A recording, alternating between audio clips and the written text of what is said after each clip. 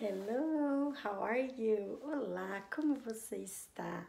Today is Monday. I love Mondays.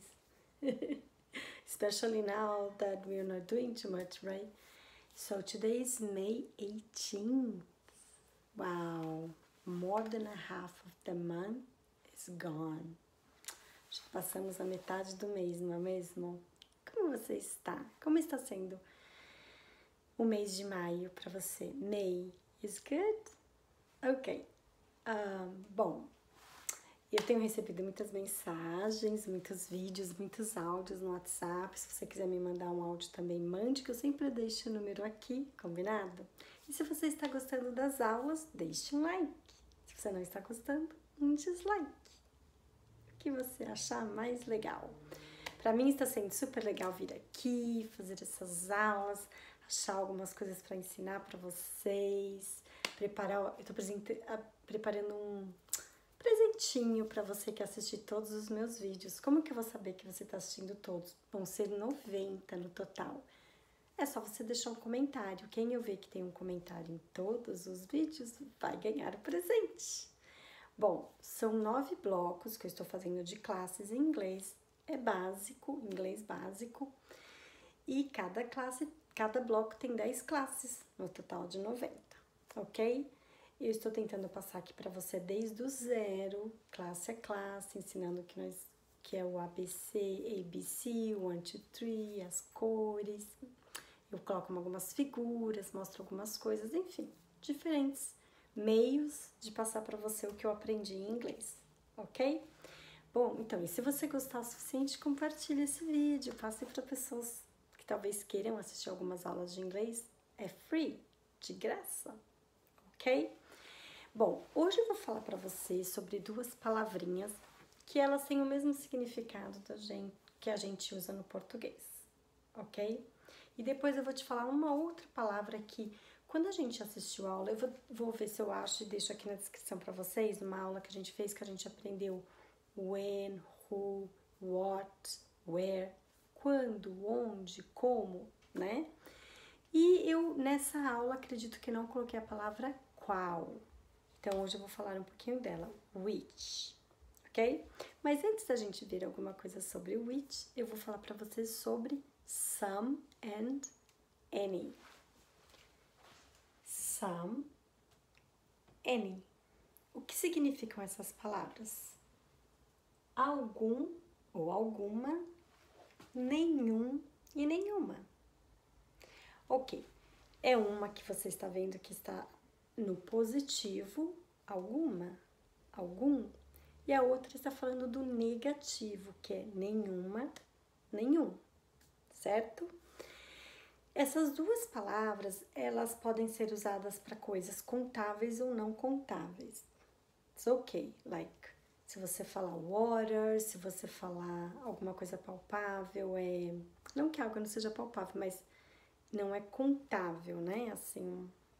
Enfim, abstrato seria, né? Tanto faz, você pode usar para coisas abstratas ou não abstratas, ok? Então aqui eu coloquei um exemplo. Aqui, se você fala, do you have some water? Você tem água? Você você tem alguma água? Você, a gente traduziria, você tem água, né? Do you have some water? E você pode responder, No, I don't. Remember o do, you not, a contração aqui. I don't have any. Ok? Se você tiver água, você pode falar, Yes, I do have some. Yes, I do have some. Você pode colocar water. Yes, I do have some water. Or I do have some.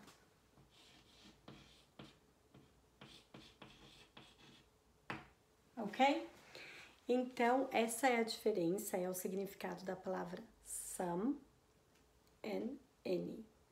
O some e o any, ela pode, elas duas podem ter um complemento, por exemplo, alguma pessoa, né?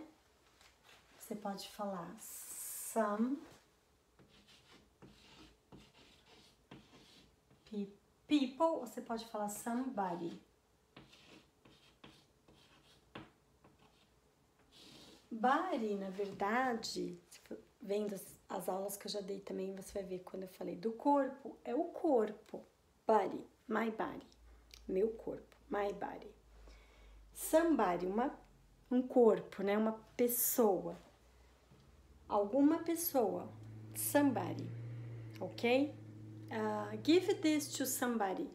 Dê isso para alguém, alguém, alguma pessoa, alguém, isso. Tá? E a mesma coisa do N. Uh, anything. Anything. Thing é coisa, tá? Alguma coisa ou nenhuma coisa. Você pode falar something, você pode falar anything, thing, ok? Então vamos ver as palavras aqui que eu já falei. Some, any. Do you have some water? No, I don't have any. Yes, I do have some water. Somebody, anything, anything. Ok? Bom, e a outra palavra que eu tinha falado para vocês, que eu ia dar uma explicação hoje, é sobre which, que significa qual. Por exemplo, eu falo para você, Can I have that? Remember I said some. Eu, eu falei a aula já explicando do that. That é uma coisa que não está aqui perto de você. Então vamos supor. Nesse exemplo, vamos imaginar a cena: duas pessoas estão na, numa sala de trabalho. Estou trabalhando aqui na minha mesa e a pessoa está um pouquinho longe de mim e ela tem umas canetas na mesa dela. E eu quero uma caneta. Então eu falo para a pessoa: Can I have that pen? Can you give me that pen? That because is not here, is there. Então a coisa que está lá, ok? Então a pessoa tem várias canetas na mesa dela. Ela fala assim: which one? The red one, the blue one. Ok? Which one? Combinado? Bom, era esses dois tópicos eu queria hoje dar uma pincelada, passar para vocês. Façam exercícios, como eu falei. Existem vários materiais na mídia onde você pode entrar e procurar exercício, você já vai ter uma noção. Assiste esse vídeo duas, três, quatro, cinco, seis vezes, quantas vezes você quiser. Ele está aqui disponível. Vê o que você entendeu, vê o que faltou. Coloque nos comentários uma pergunta, se você tiver uma pergunta, uma dúvida, mande um WhatsApp para mim, combinado? E assim você vai aprendendo e vai treinando e você vai melhorando o seu inglês. Não esqueça de assistir filmes com legenda em inglês e falado em inglês, of course, e também ouvir músicas. Listen to the music. It's wonderful. You can Oh, that girl said that word. I know now. I I saw that word in an English class with my family. É só você procurar ver todas as palavras, ver de novo, ver de novo, ok? E eu vou trazendo para vocês aqui mais informações quando a gente chegar no bloco 9, a gente vai começar a falar sobre outras possibilidades e formas de você aprender inglês. Ok? Deal? Então, nos vemos amanhã. See you tomorrow!